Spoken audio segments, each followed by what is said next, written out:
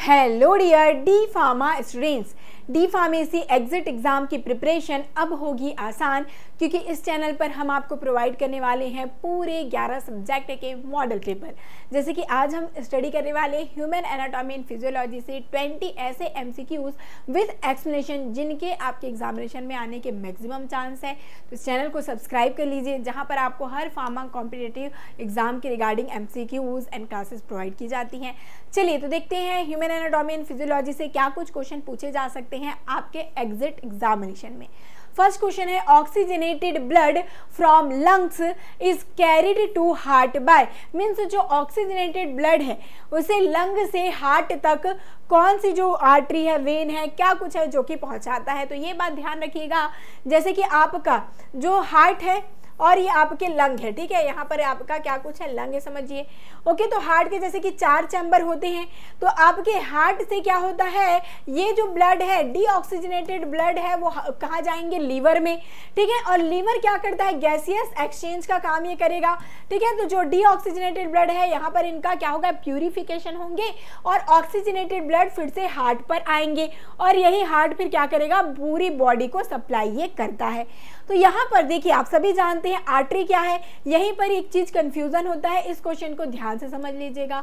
Artery mainly क्या करता है, जो ऑक्सीजनेटेड ब्लड होते हैं, उन्हीं को ट्रांसफ़र करता है।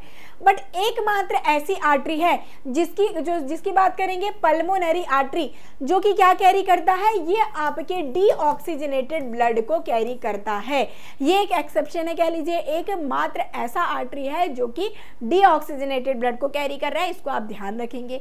फिर यदि हम बात करते हैं वेन, ठीक है, यहाँ पर दिया गया है पल्मोनरी वेन और आप सभी जानते हैं वेन यदि मैं बात करूँ तो वेन क्या करता है? हमेशा डीऑक्सीजनेटेड ब्लड को कैरी करता है।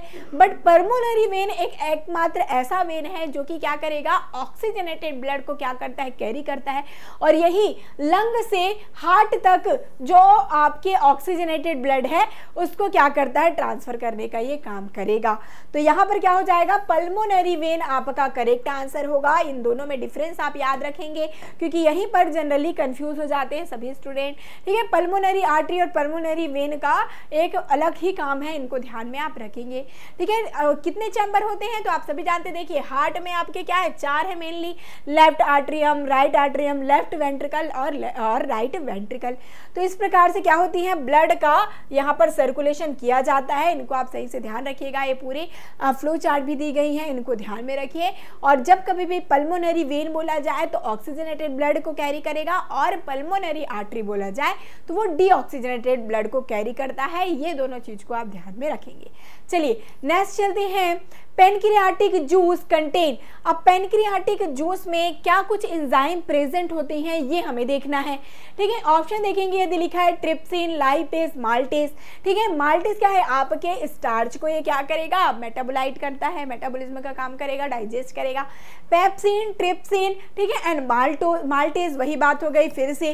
फिर ट्रिप्सिन काइमोट्रिप्सिन और एमाइलेस ठीक है ट्रिप्सिन पेप्सिन एंड सुक्रेस तो यहाँ पर आप देखेंगे ये आपके ट्रिप्सिन और काइमोट्रिप्सिन, ये दोनों कहाँ प्रेजेंट होते हैं? आपके पेनक्रियाटिक जूस में और पेनक्रियास के एंजाइम है भाई। अब बात करेंगे एमाइलेज तो पेनक्रियाटिक एमाइलिस ये एंजाइम भी क्या करता है? इम्यूलाइटिक एंजाइम होते हैं जो कि आपके पेनक्रियाटिक जूस में पाए जाते हैं। ठीक है, चलिए पूरा आप यहाँ पर एक्सप्लेनेशन में देख पाएँगे। बहुत अच्छे से यहाँ पर आपको पूरे पेनक्रियाटिक जूस याद हो जाएँगे। क्या कुछ होती है पेनक्रियाटिक जूस में? यहीं पर आपको उनके फ़ंक्शन और उनके क्लासिफिकेशन याद हो जाएगी। तो यदि हम बात करते हैं इंजाइम्स क्या कुछ इन्वॉल्व होंगे पेनक्रियाटिक जूस में? तो देखिए प्रोटियोलाइटिक लिपोलाइटिक और एमाइलोलाइटिक ये तीन टाइप के इंजाइम प्रेजेंट होते हैं आपके पेनक्रियाटिक जूस में। प्रो, आपके प्रोटियोलाइटिक एंजाइम की बात करेंगे तो ट्रिप्सिन काइमोट्रिप्सिन ठीक है न्यूक्लियस कार्बोक्सी पेप्टाइडेस ये सारी चीज़ें पेनक्रियाटिक एंजाइम की और की तरह और एमाइलोलाइटिक एंजाइम की बात करेंगे तो पेनक्रियाटिक एमाइलेस कह सकते हैं। लिपो लाइटिक एंजाइम की बात करेंगे तो पेनक्रियाटिक लाइपेज हो गया sterol esters phospholipase, A and B colipase, ये सारी चीज़ें किसमें प्रेजेंट होती है? लिपोलाइटिक एंजाइम की तरह वर्क करती हैं, जो कि पेनक्रियाटिक जूस में है। ये आपके इंजाइम के बारे में बात हो गई। अब ऑर्गेनिक सबिस्टेंस की बात करें तो आपके एल्ब्यूमिन, ग्लोब्यूलिन भी प्रेजेंट होते हैं पेनक्रियाटिक जूस में। इनऑर्गेनिक सबिस्टेंस की तरह सोडियम, कैल्शियम, पोटेशियम, मैग्नीशियम, ये सारे कंपाउंड प्रेजेंट होंगे। तो इनको ज़रूर से स्क्रीन ले लीजिए, आपके लिए काम में आएगा ये ज़रूर से। ठीक है नेक्स्ट क्वेश्चन फिर हम चलते जाएँगे, क्या कुछ दिया है? Cardiac output is expressed by ठीक है? कार्डियक आउटपुट मींस क्या कुछ होता है? Stroke stroke volume heart rate दिया गया stroke volume into heart rate stroke volume into peripheral resistant और cardiac output into heart rate ठीक है? तो आपके कार्डियक आउटपुट किसे कहेंगे? जब आपका ऐसा वॉल्यूम ठीक है? स्टॉक वॉल्यूम जिसे हम कहते हैं, ऐसा वॉल्यूम जो कि क्या हो? एक बार जब हार्ट बीट करे तो जितना वॉल्यूम ब्लड का क्या हो? पंप आउट हो, उसे हम क्या कहते हैं? स्ट्रोक वॉल्यूम कहा जाता है, ये आप लोग सबसे पहले जान लीजिए। ठीक है, अब इनका हम इंटू करेंगे किसके साथ? एक मिनट में कितनी बार हमारा हार्ट क्या किया है? बीट किया है। ये दोनों हम इंटू कर देंगे। फिर जो रिज़ल्ट आएगा वो क्या कहलाएगा? कार्डियक आउटपुट ठीक है, यानी कि एक बार जब बीट किया है तो कितना वॉल्यूम हमारा ब्लड का आउट हुआ है पंप हुआ है, और कितना बीट एक मिनट में करता है। इन दोनों को हम इंटू कर देंगे, जिससे कि हमारा आएगा कार्डियक आउटपुट का रिज़ल्ट क्लियर तो चलिए, यहाँ पर मैं बात करूँगी, देखिएगा, यहाँ पर करेक्ट आंसर हो जाएगा stroke volume into heart rate और देख पाएँगे कार्डियक आउटपुट मीन्स क्या होगा? ये आपके स्टॉक वॉल्यूम के साथ हम हार्ट रेट को इंटू कर देंगे। स्टॉक वॉल्यूम क्या होगा? यदि एक बार हार्ट बीट करता है तो जितना ब्लड पंप आउट हो रहा है, उसे हम जो आपका स्टॉक वॉल्यूम आउटपुट कहेंगे, ठीक है? और हार्ट रेट की बात करेंगे तो यही आपका वन मिनट में, ठीक है? वन मिनट में कितनी बार ये बीट करता है, ये आपका हार्ट रेट कहलाएगा, ठीक है? ये चीज़ों को ध्यान में रखिएगा। तो यदि हम कैलकुलेट करें कितना कुछ कार्डियक आउटपुट होता है तो देखिए कार्डियक आउटपुट की बात करें तो आपका stroke volume 70 M per beat होता है। ठीक है 70 एम पर बीट आपका जो वॉल्यूम है, किनका? स्टॉक वॉल्यूम जो कि आपके हार्ट बीट एक बार हार्ट बीट होती है तो इतना पंप होता है ब्लड कितना? 70 एम पर बीट होगा। और हार्ट रेट वन मिनट में 72 टाइम ये क्या करता है? आपका हार्ट बीट करता है। इन दोनों को इंटू कर देंगे तो क्या कुछ होगा? 5.4 zero four litre per minute ये रहेगा आपका कार्डियक आउटपुट। तो इस डेटा को याद रखिएगा, डायरेक्टली क्वेश्चन बन सकते हैं। नेक्स्ट है एनजियोजेनेसिस रिफर्स टू। एनजियोजेनेसिस किसे किया, कहा जाएगा? Formation of new tissue. ठीक है? न्यू टिश्यू का फॉर्मेशन होना। Formation of new blood vessels formation of new epithelial layers and deposition of collagen matrix तो क्या कुछ कहलाते हैं ये आपके एनजियोजेनेसिस ठीक है? तो यहाँ पर जेनेसिस मतलब कि कुछ ना कुछ चीज़ें जनरेट हो रही है फॉर्मेशन इनका हो रहा है, बन रहा है तो क्या कुछ बन रही है? तो ध्यान रखिएगा, यहाँ पर ब्लड वेसल्स नए ब्लड वेसल्स को बनना यही कहलाता है हमारा एनजियोजेनेसिस ठीक है एनजियोजेनेसिस का ये टर्म आप ध्यान में रखिए, बहुत इंपॉर्टेंट है। जब कभी भी न्यू ब्लड वेसल्स बनती हैं, जो कि क्या कराता है? प्रोवाइड कराता है ऑक्सीजन न्यूट्री जो आपके प्रोलिफरेटिंग फाइब्रो ब्लास्ट वगैरह हैं एपिथिलियल सेल्स हैं, उनको ये ऑक्सीजन और न्यूट्रिएंट्स प्रोवाइड ये कराते हैं। ठीक है? तो ये सभी टर्म को आप ध्यान में ज़रूर से रखेंगे। नेक्स्ट है which of this is the contractile protein of muscle जो मसल है, आप सभी जानते हैं जब आपका मूवमेंट है, किस तरीके से होता है? जब इनमें कॉन्ट्रैक्शन और रिलैक्सेशन कॉन्ट्रैक्शन और रिलैक्सेशन होगा मसल्स में तो क्या कुछ प्रोटीन इनमें प्रेजेंट होता है जिनका कॉन्ट्रैक्शन और रिलैक्सेशन होगा? तब जाकर ये जो आप देख पाएँगे मूवमेंट ठीक है? तो यहाँ पर कॉन्ट्रेक्टाइल प्रोटीन पूछा है, जिनका कॉन्ट्रैक्शन होता होगा, ठीक है? तो यहाँ पे ध्यान दीजिएगा, मसल में टू टाइप के प्रोटीन होते हैं एक्टिन और मायोसिन ये दो चीज़ को आप ध्यान में पहले ही रख लें। अब यहाँ पे ऑप्शन देखिए ट्यूब्यूलिन ट्रोपोमायोसिन दिया गया है और मायोसिन तो ये मायोसिन आपके क्या कुछ है? कॉन्ट्रैक्टाइल प्रोटीन होते हैं, ये कॉन्ट्रैक्ट होते हैं, ठीक है? और यही क्या करेंगे? मूवमेंट के लिए रिस्पॉन्सिबल होती हैं। ठीक है? ये आपका एक्टिन यहाँ पे देख भी सकते हैं एक्टिन और मायोसिन ये दो टाइप के मसल्स में प्रोटीन पाए जाते हैं और इन्हीं यही रिस्पॉन्सिबल होते हैं किसके लिए? मूवमेंट के लिए। ठीक है, इन दोनों प्रोटीन को आप ध्यान में अच्छे से रखेंगे। चलिए एन्यूरिज्म रिफर्स टू एन्यूरिज्म किसे कहा जाता है? Contraction of vessel blockage of vessel abnormal dilation of vessel and rupturing of vessel ठीक है तो ये आपका एन्यूरिज्म जो टर्म है, वो इंडिकेट किसे करेगा भाई? यहाँ पर लिखा गया है वेसल पहले बात ध्यान रखिएगा कि ये वेसल से रिलेटेड है। अब क्या होता है? यहाँ पर एन्यूरिज्म में इनका डायलेशन होने लग जाता है वेसल का। ठीक वेसल जो है आपके ब्लड वेसल ही कह लीजिए, वो डायलेट होने लग जाएँगे ब्लड वेसल जैसे कि आर्टरीज ही कह लीजिए। वो एब नॉर्मली डायलेट होने लगेंगे तो ये कंडीशन आपके एन्यूरिज्म कहलाती है। इस टर्म्स को, सभी टर्म को आप ध्यान में रखते जाइएगा, इनसे डायरेक्टली क्वेश्चन बनने के चांस है। देखिए, इस प्रकार के जो आपके आर्टरीज वगैरह हैं, जो आपकी वेसल्स हैं ब्लड वेसल वो डायलेट होने लगेंगे। ये एक प्रकार का एबनॉर्मेलिटी आपका कहलाएगा फिर। ठीक है तो ये इंपॉर्टेंट चीज़ों को याद रखिएगा। वैसे ये कॉमनली इनके सिम्टॉम डेंजरस नहीं होते बट ये जो कंडीशन है, ये रिस्क को मिल रही है, ये एन्यूरिज्म कहलाती है। नेक्स्ट है which is the outermost cranial appendage ठीक है? चलिए तो ये आपका आउटर मोस्ट क्रैनियल की बात हो गई। ओके तो यहाँ पर ध्यान दीजिएगा, जब कभी भी क्रैनियल आई तो समझ लीजिए क्या कुछ बात हो रही है ब्रेन की बात। सबसे पहले। तो ब्रेन को क्या कुछ करेगा? प्रोटेक्ट करने का एक मेम्ब्रेन होता है, क्योंकि अब सबसे इंपॉर्टेंट है आपका स्कल। है ना? स्कल, ये आपके ब्रेन स्कल के, स्कल का जो क्या कुछ है स्कल है, उससे क्या रहते हैं? प्रोटेक्टेड रहते हैं। और इनमें जो मसल का क्या बना हुआ है लेयर बना हुआ है, इनको हम यहाँ पर डिवाइड किया गया है क्रेनियल अपेंडेजेस ठीक है? तो ड्यूरामेटर पायामेटर स्कल और एरेकनॉइड ये दिया गया है। यदि हम क्रेनियल अपेंडेजेस की बात करें, और यहाँ पर बोला गया आउटर मोस्ट मतलब कि जो सबसे बाहर हो। ठीक है? तो ये आपका ड्यूरा मैटर होता है। अब चलिए मैं आपको एग्ज़ाम्पल के साथ बताऊँ। यहाँ पर ये आप देख सकते हैं। ठीक है? ये आपके क्या कुछ है? ब्रेन है। ब्रेन के बाद का जो लेयर बना हुआ है तो आपके सबसे पास ब्रेन के सबसे पास क्या रहेगा? पिया मैटर रहेगा। उसके बाद एरेकिनॉइड मैटर रहेगा। उसके बाद आपके ड्यूरा मैटर रहते हैं। तो यदि हम बात करें आउटर की ओर से, तब ड्यूरा मैटर सबसे पहले है। और यदि हम इनर की ओर से बात करेंगे, तब पिया मैटर सबसे पहले होगा। तो इस चीज़ को आप ध्यान रखिएगा। तीन मेम्ब्रेन ये जो आपके मैनेंगाइटिस हैं ह्यूमन में ये तीनों को ध्यान में रखते जाएँगे। चलिए which part of human brain is concern with the regulation of body temperature अब जो आपका बॉडी का जो टेम्परेचर है, आपने देखा होगा फीवर के टाइम में बॉडी टेम्परेचर हाई हो जाता है। नॉर्मल आपका 37 डिग्री सेल्सियस होता है। तो ये बॉडी का टेम्परेचर मेंटेन कौन सा पार्ट है, वो करता है, ये जानेंगे हाइपोथैलेमस मेड्यूला ऑब्लोंगेटा सैरिबेलम और सैरिब्रम तो आपके जो हाइपोथैलेमस हैं, ठीक है हाइपोथैलेमस होता है, वो आपके बॉडी टेम्परेचर को रेगुलेट करता है। साथ ही साथ बॉडी टेम्परेचर के साथ जो आपके हॉर्मोन्स है, इनका भी रेगुलेशन करने में इनका बहुत बड़ा योगदान होता है। ये आप ध्यान रखेंगे कहाँ कुछ प्रेजेंट होता है तो फोर ब्रेन में। ये आपका ब्रेन है तो यहाँ पे आप देखेंगे हाइपोथैलेमस फोर ब्रेन में है पिट्यूटरी है और आपके सैरिब्रम तो इस प्रकार से सैरिब्रम सैरिबेलम ये सभी चीज़ें आपको इमेज में दिखा दी गई हैं। ओके और ये आपके जो हाइपोथैलेमस होते हैं एंडोक्राइन ग्लैंड जितने भी एंटोग्राइन जो सिस्टम है, उनसे जो हार्मोन सेक्रेट होते हैं और आपके नर्वस सिस्टम इनके बीच में एक प्रकार से लिंक का काम करता है। इनका ये मेन फ़ंक्शन होते हैं। ठीक है? और बॉडी का जो भी साथ ही साथ इसीलिए इनको क्या कहते हैं? Hypothalamus act as a body smart control coordinating centre भी ये कहलाता है इसीलिए। चलिए, आगे बढ़ेंगे। Complete loss of smell are also called as अभी आपने देखा भी होगा कोविड के टाइम में ये चीज़ें बहुत देखने को मिल जाती थी। जिनको भी सिम्टॉम नज़र आ रहा है, उनका क्या होता है? लॉस ऑफ़ स्मेल हो जाता है। तो इस कंडीशन को हम क्या कहते हैं?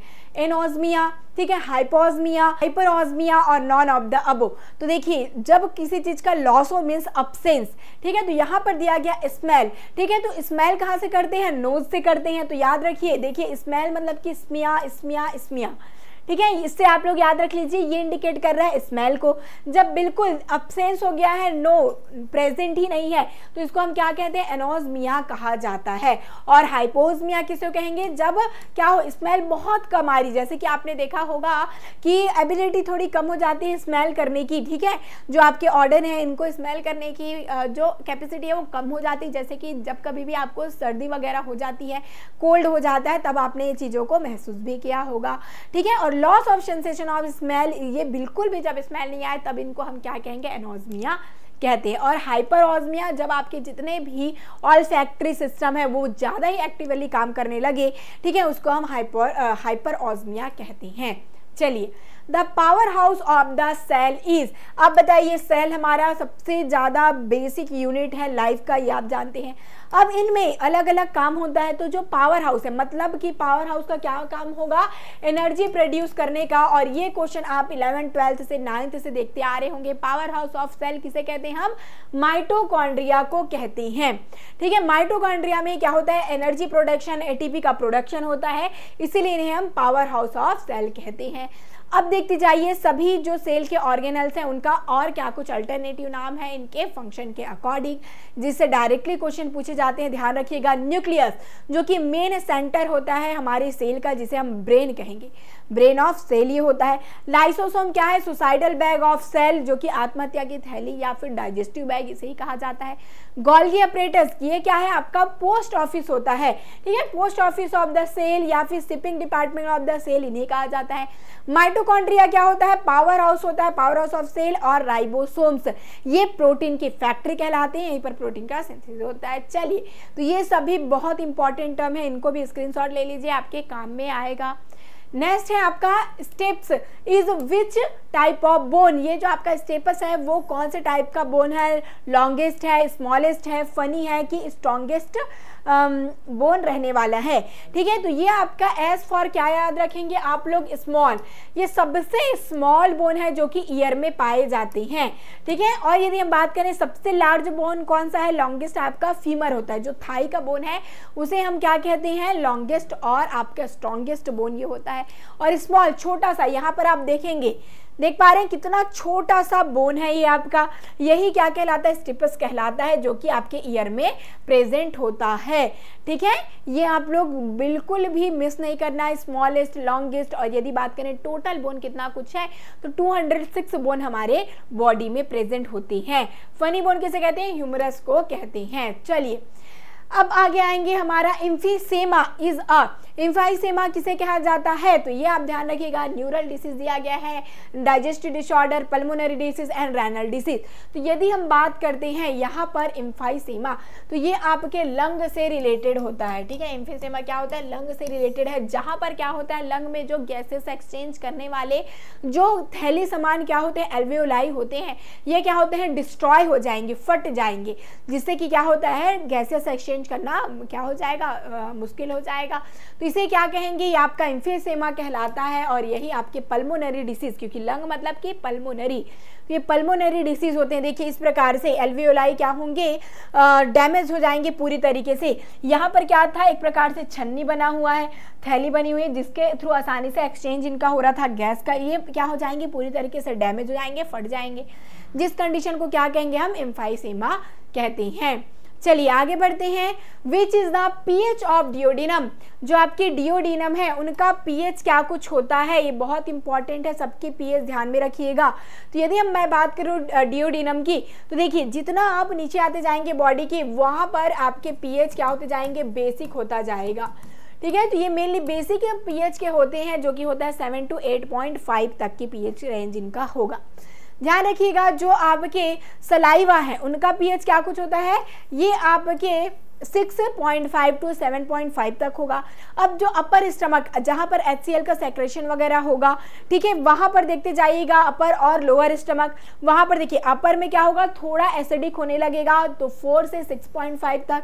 और लोअर में तो एचसीएल है ही, तब ये बहुत ही कम हो जाते हैं वन पॉइंट फाइव से फोर पीएच तक रहेंगे। ठीक है और डिओडिनम आपके seven to eight point five और लार्ज जो आपके इंटेस्टाइन है, ठीक है आंत है, वहाँ पर भी आप देखने को मिलेगा फोर टू सेवन का पीएच तो पीएच डायरेक्टली पूछा जाता है बॉडी का।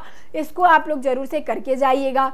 Which enzyme is not involve in starch digestion in intestine जो आपके इंटेस्टाइन है, जहाँ पर स्टार्च का डाइजेशन हो रहा है तो इनमें से कौन सा इंजाइम है जो कि स्टार्च डाइजेशन में इन्वॉल्व नहीं होते?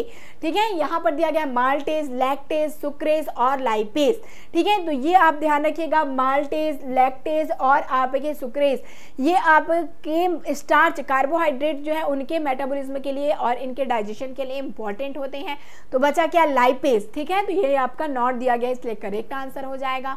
अब देखिए डाइजेशन की बात करेंगे, यहाँ पर पूरा एंजाइम के साथ दिया गया है, बहुत इंपॉर्टेंट है, ध्यान रखेंगे। माल्टोज जो है वो आपके डाइजेशन में स्टार्च जो है, ये स्टार्च की कंटेंट है माल्टोज लैक्टोज और सुक्रेज ठीक है? तो यहाँ पर जो माल्टोज है, वो माल्टेस एंजाइम के थ्रू ग्लूकोज में कन्वर्ट हो जाता है। लैक्टोज है, वो लैक्टेज एंजाइम के through glucose and in galactose में कन्वर्ट हो जाते हैं। सुक्रेज है, वो सुक्रेज एंजाइम सुक्रोज है ये, ठीक है? सुक्रोज है जो कि सुक्रेज एंजाइम के थ्रू ग्लूकोज और फ्रुक्टोज में कन्वर्ट हो जाता है। इसको आप लोग ठीक कर लेंगे। सुक्रोज ये होता है, ये आप लिख लेंगे, आप सभी जान रहे हैं ठीक है? चलिए digestion of small protein molecule जैसे कि प्रोटीन मॉलिक्यूल में क्या है? पेंटोज है एप्टोन्स है ट्राइप पेप्सिनोजेंस है इनका क्या होगा डाइजेशन जो कि आपके इरेप्सिन हो गए, ये सारे क्या करते हैं? अमीनो एसिड में इनको तोड़ते हैं। अब यदि फैट की बात करते हैं तो ये जो लाइपेज दिया गया था, ये क्या करता है? फैट का डाइजेशन करता है। फैट को फैटी एसिड और ग्लिसरॉल में ये डाइजेस्ट करके कन्वर्ट करता है भाई। तो ये सभी इंजाइम का वर्क ध्यान में रखेंगे। पूछा जाता है क्वेश्चन चलिए layers of the skin is जो आपकी स्किन है, उनके क्या कुछ लेयर्स होते हैं? Epidermis dermis hypodermis all of this जी हाँ बिल्कुल। आपके स्किन का जो लेयर है एपिडर्मिस डर्मिस हाइपोडर्मिस सभी ये लेयर इनमें आते हैं। इसीलिए यहाँ पर ऑल ऑफ़ दिस हो जाएगा करेक्ट आंसर ठीक है? एपिडर्मिस डर्मिस ये आप पूरे यहाँ पर लेयर देख पाएँगे और इन्हीं के अकॉर्डिंग हम क्या करते हैं? इंजेक्शन भी। आपने ज़रूर से फार्माकोलॉजी में देखा होगा इंट्रा मस्कुलर इंट्रा डर्मल साथ ही साथ सबक्यूटेनियस तो ये आपके लेयर है। देखिए सबक्यूटेनियस लेयर डर्मिस लेयर उसके बाद सबसे ऊपर का लेयर जिसे हम एपिडर्मिस कहते हैं। ठीक है? तो ये सभी लेयर किन में होते हैं? आपके स्किन में। Which of the following connective tissue envelops the bone जो आपके बोन है, उनमें क्या होता है? बोन को क्या करेंगे? सराउंड करके रखते हैं इन्वलप एक प्रकार से बना कर रखेंगे, क्या कुछ प्रोटेक्ट करेंगे बोन को? आपके कनेक्टिव टिश्यू ठीक है तो कौन से कनेक्टिव टिश्यू है जो कि बोन का पूरा क्या बनाएँगे? उनको प्रोटेक्ट करके रखेंगे, उनको इन्वलप्ड करके रखेंगे। चलिए तो ये पेरियोस्टियम है पेरिकार्डियम है मायोकार्डियम है एंड मैरो है। तो क्या कुछ होगा यहाँ पर? करेक्ट आंसर तो ये आपके पेरियोस्ट पेरिस्टियम है जो कि यहाँ पर कनेक्टिव टिश्यू की तरह काम कर कनेक्टिव टिश्यू होते हैं जो कि बोन को एनवेलप करके रखते हैं पेरियोस्टियम ठीक है, ध्यान में रखिएगा। तो यहाँ पर देख पाएँगे ये आपका बोन है, ठीक है। बोन को पूरा ये जो आपकी इस प्रकार से इनमें एक पूरी लेयर टिश्यू की तो जो कि है पेरिस्टियम जो कि एक कनेक्टिव टिश्यू हो कनेक्टिव टिश्यू होते हैं। चलिए next which of the following is known as knee cap knee का क्या करेगा? नी मतलब कि क्या है? आपका घुटना, ठीक है। घुटने में क्या बना हुआ है? कैप बना हुआ है मीन्स उनको ढक कर रखा हुआ है। एक प्रकार से उनका क्या कुछ है? प्रोटेक्शन के लिए, ठीक है। तो ये जो आपका नी कैप कहलाता है, वो क्या कुछ है? टेबुलम है, स्कैप्यूला है कि पेटेला है कि क्लेविकल्स है। क्या कुछ होगा बताइएगा? नी कैप नी कैप जो होगा, नी का कैप बना हुआ है तो ये पटेला बोन कहलाता है। ठीक है, पटेला बोन क्या कुछ कहलाता आएगा ये आपके नी कैप होते हैं। यहाँ पर आप देख पाएँगे, ये जो आपके घुटने हैं, उनमें एक प्रकार से कैपिंग लगी हुई है, जिसे हम पटेला कहते हैं। ये भी एक प्रकार का बोन है आपका। चलिए which of the following layer of epidermis is most superficially portion of the epidermis ठीक है एपिडर्मिस का मोस्ट सुपरफिशियल लेयर ठीक है, सबसे ऊपर का लेयर एपिडर्मिस आपका सबसे ऊपर ही लेयर है. यदि हम बात करें स्किन की तो स्किन में सबसे आउटर लेयर क्या कुछ है? एपिडर्मिस ही कहलाता है. अब एपिडर्मिस के ही क्या होते हैं? लेयर होंगे. तो इस एपिडर्मिस का भी सबसे सुपर मोस्ट लेयर ठीक है, वो क्या कुछ कहलाता है? ये क्वेश्चन में है. स्ट्रेटम ग्रेन्यूलोशम स्पिनोजम और स्ट्रेटम कॉर्नियम और स्ट्रेटम बेसल दिया गया है. तो आपकी स्ट्रेटम कॉर्नियम हो जाएँगे करेक्ट आंसर जो कि सबसे आउटर मोस्ट लेयर में होगा। ठीक है, देखिए, ये आपका एपिडर्मिस है पूरा। अब इनके भी लेयर होते हैं तो ध्यान रखिए, सबसे आउटर लेयर आइए, आपका स्किन ही कह सकते हैं, सबसे आउटर लेयर या आपका स्टेटम कॉर्नियम कहलाता है। फिर उसके बाद का है आपका स्टेटम ल्यूशिडियम और स्टेटम ग्रेन्यूलोशम ये कहलाएँगे इसी प्रकार से। सबसे लास्ट यहाँ पर यदि स्किन का सबसे अंदर का लेयर बात करें एपिडर्मिस का तो आपका स्टेटम बेसिल होगा। ठीक है? तो ये पूरे स्क्रीन के पाँच लेयर होते हैं। इन पाँचों को आप ध्यान में रखिएगा। ठीक है? आगे बढ़े। चलिए through which of the following nerves the blood vessel enter through the kidney अब आप सभी जानते हैं किडनी किडनी में क्या होता है? यहाँ पर फिल्टरेशन चलेगा ब्लड का यूरिन का फॉर्मेशन भी इसी प्रकार से होगा। तो ये जो आप देख पाएँगे, ये आपकी जो किडनी होती है तो यहाँ पर ब्लड पहले आएगा, ठीक है? तो जिस पोर्शन से ब्लड का जो वेसल्स है अंदर जाएँगे तो इनको हम क्या कहते हैं? यहाँ पर का एक पोर्शन है हाइलम कहलाता है। मीन्स हाइलम मतलब गर्त तो ये आपका एक प्रकार से कहा जा रहा है? गर्त में जा रहा है, आपका जो ब्लड वेसल है। तो हाइलम इनको हम कहते हैं। ठीक है, इनका इमेज भी मैं आपको चलिए दिखाते जाती हूँ तो और भी क्लियर होगा। तो ये देखिए, ये आपका क्या कुछ है? किडनी है। और यहीं पर पूरे ब्लड वेसल्स हैं। ये क्या जा रहे हैं? अंदर की ओर जा रहे हैं, जिससे कि ब्लड आगे जाएगा और इनका फिल्टरेशन होगा। तो ये जो पोर्सन है, उसको हम क्या कहते हैं? हाइलम कहते हैं। किडनी का ध्यान रखेंगे। Which of the following cells are responsible for skin colour ये जो आपकी स्किन का कलर है पिगमेंट है ठीक है? कई लोगों का थोड़ा डार्क होगा ठीक है? कुछ का थोड़ा लाइट होता है तो ये पिगमेंटेशन किन की वजह से होता है? ठीक है? तो ध्यान देंगे यहाँ पर मेलानोसाइड दिया गया है केरा, केराटिनोसाइड दिया है मार्किल सेल और लैंगर सेल तो आपका जो मेलानिन होता है ये आपका पिगमेंट है ठीक है? जो कि जितना मीन्स जो भी पर्सन ज़्यादा यदि कलर उनका डार्क है मतलब वहाँ पर मेलानिन पिगमेंट उनका ज़्यादा है। ठीक है तो ये जो कलर होता है, वो किसके लिए रिस्पॉन्सिबल है? वो आपके मेलानिन जो पिगमेंट है, उनकी वजह से होगा। और जो आपका स्किन कलर है, इसीलिए मेलानोसाइट्स है, ये आपके सेल्स हैं जो कि रिस्पॉन्सिबल होते हैं स्किन के कलर के लिए। ठीक है मेलानोसाइट जो सेल्स हैं, इनको ध्यान रखिएगा। और पिगमेंट की बात करेंगे स्किन के कलर की तो ये मेलानिन होती है। इसीलिए ये जो कलर है स्किन का डिफरेंट डिफरेंट होती है, जिनमें ज़्यादा मेलानिन है वो थोड़े डार्क हो जाते हैं और थोड़ी कम मेलानिन है तो थोड़ी उनका कलर फेयर रहेगा। ठीक है? तो ये सारी चीज़ों को ज़रूर से ध्यान देंगे। ठीक है? और साथ ही साथ ये सभी क्वेश्चन बहुत इंपॉर्टेंट है। आपके एग्जामिनेशन में पूछे जाने के चांस है तो ज़रूर से इनको आप बार बार रिवाइज करिए। और साथ ही मिलते हैं नेक्स्ट वीडियो के साथ। इसी प्रकार के न्यू क्वेश्चंस और एक्सप्लेनेशन के साथ। All the best